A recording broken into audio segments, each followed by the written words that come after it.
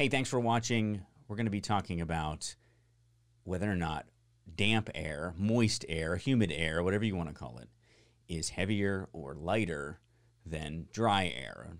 First off, the air around us almost always has some amount of moisture content in it, water vapor in the air.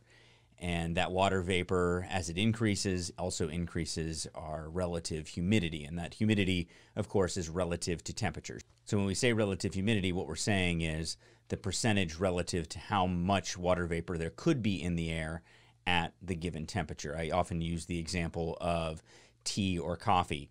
You know that when your tea or coffee is cold, it doesn't hold as much sugar. You can stir the sugar, it just doesn't absorb. But when you heat up that tea or coffee, then the fluid can hold more sugar in it. And if you think of air in the same way, it's not exactly the same, but when air is warmer, it can hold more overall water vapor content. But first, let's address this phrase that heat rises. And that isn't exactly true.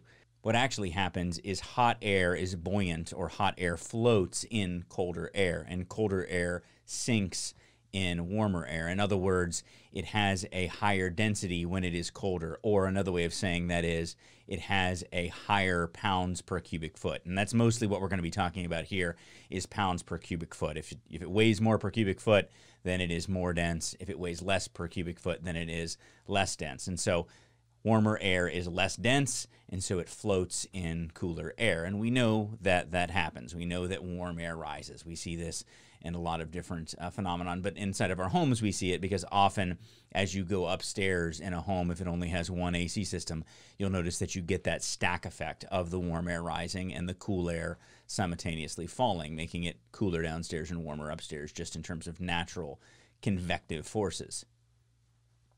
So we know that part. But is moist air, is air that has higher relative humidity or higher overall water vapor content in the air, is it heavier or lighter? Is it more dense if it has water more water vapor in it? And so let's look at some numbers quickly. First off, air is made up of a lot of different things. And if it's completely dry, it's mostly made up of nitrogen. That is the largest percentage uh, that air is made up of, about 78%. And then number two, way down the list, is oxygen at about 21%, 20.9%. And then from there, there's a laundry list of different gases that are all under 1% argon, CO2, neon, methane, and a bunch more. But they make up a very small amount of the overall mass of the air, the overall weight of the air. Most of the weight of the air is nitrogen and oxygen if it's dry air, if it has no water vapor in it. If it has water vapor in it, then often that water vapor will take up the third most common constituent of air. So it would go nitrogen, oxygen, water vapor, argon, CO2, neon, methane, in order of what air is made up of. But in terms of completely dry air, completely dry air has a weight of 0.0807 pounds per cubic foot. And it's very light, of course, because it's a vapor. Uh, all gases are pretty light. But it's about you know, we'll just we'll just round here. It's about 0.08 pounds per cubic foot. Now compare that to water vapor. Now again, this is not liquid water, so we're not talking about fog here. We're talking about just water vapor when it's truly a gas in the air. It has a weight of 0.0472. Again, if we just want to round, we'll just say, you know, about 0.5.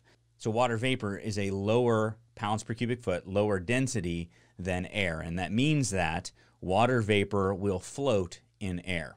When water vapor is a constituent part that makes up the air, then air that has higher moisture content in terms of water vapor is going to be buoyant, meaning it's going to float in air of the same type and the same temperature, but that has a lower moisture content. So, another way of saying that, very simply, is that air that has more water vapor in it, if everything else is the same, is actually lighter than air that does not.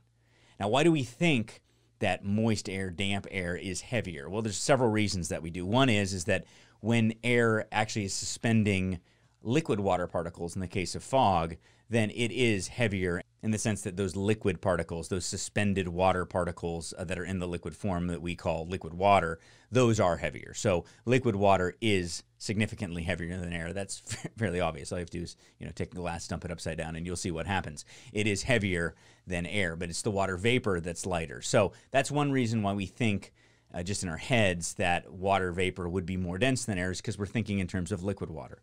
The other reason is is that air that has higher moisture content or has more humidity in it does feel heavier to us in the sense that it feels more oppressive to us. And the reason is is that air that has more moisture content in it, especially in terms of relative humidity, our bodies can no longer give off heat via evaporation, via sweat. And so when we have higher moisture content in the air, we feel kind of oppressed because we're not able to reject heat off of our bodies the way our bodies were designed.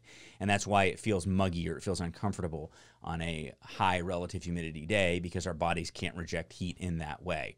And so that's another reason why I think often people will think that air that has moisture in it is more dense when in fact it is not. More moisture equals actual less density. And we know this, right? We know that when water leaves a, lake or leaves the ocean, it travels upward. That water makes it up and it creates clouds, and then those clouds rain the water back down. If water vapor were heavier, than air, then our clouds would be on the ground. We know that water vapor is lighter because our clouds end up in the sky. So, pretty obvious stuff, right? But there's another factor for technicians when you start to get kind of deep into the weeds of enthalpy. So, enthalpy split or delta H is something that's sort of an advanced concept in terms of looking at things like total delivered capacity of a system, or even when you're doing something like a delta T calculator where you have to use wet bulb temperature of the return air in order to calculate what your target delta T is. What you find is is that air that has moisture in it, higher moisture in it, higher relative humidity or higher total moisture content to be more exact, has more enthalpy. And so why would that be? If air that has moisture in it is lighter, it's less dense, why would it have more enthalpy?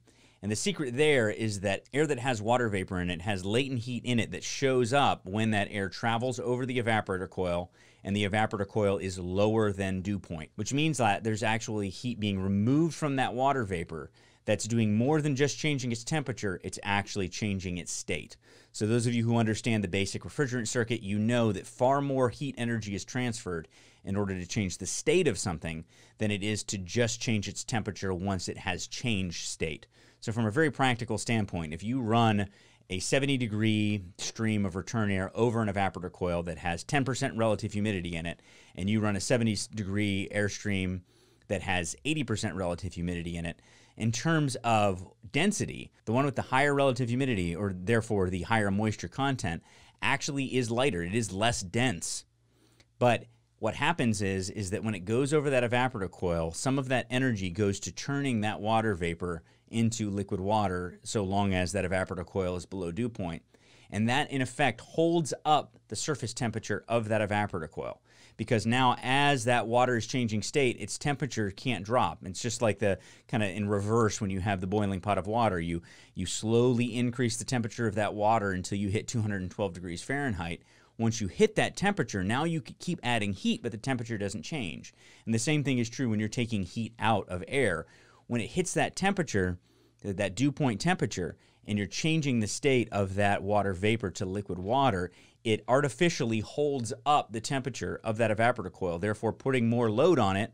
And in turn, you don't get as much of a temperature split. From a very practical standpoint, when you have drier air running over an evaporator coil, everything else being the same, the, the temperature of the refrigerant moving through, all of that, your delta T is going to be higher when it's drier air than when that air has more moisture content in it, even though like the point of this video said, even though that air is less dense, meaning it actually weighs less per pound.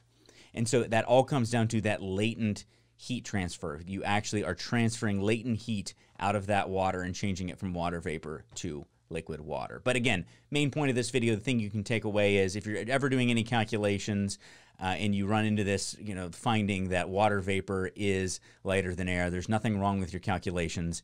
You will find that actually it's significantly lighter than air. Again, water vapor, 0.0472 pounds per cubic foot versus air, which is 0.0807 pounds per cubic foot. Now, again, these are sort of standard equations. There's a lot of factors. When we say air, we're giving you a standard air equation. The density of air changes based on many, many factors, barometric pressure, uh, and temperature being some of the bigger ones, uh, in addition to total moisture content. So that's a moving target. Um, some people may ask why water vapor is lighter than air. And just quickly, if you look at the weight of hydrogen, we know that water is made up of hydrogen and oxygen, H2O, right?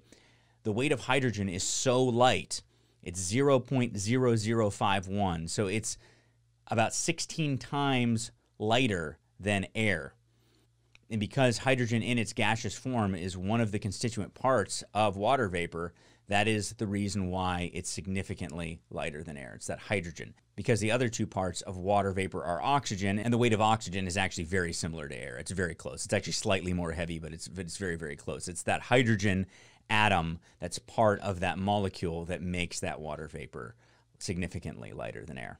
All right, so there you go. Hopefully you found that helpful. It might have been a little nerdy for you, but uh, it's something that you can wow your friends with at parties. Actually, don't do that because you won't have any friends left. All right, we'll catch you on the next video.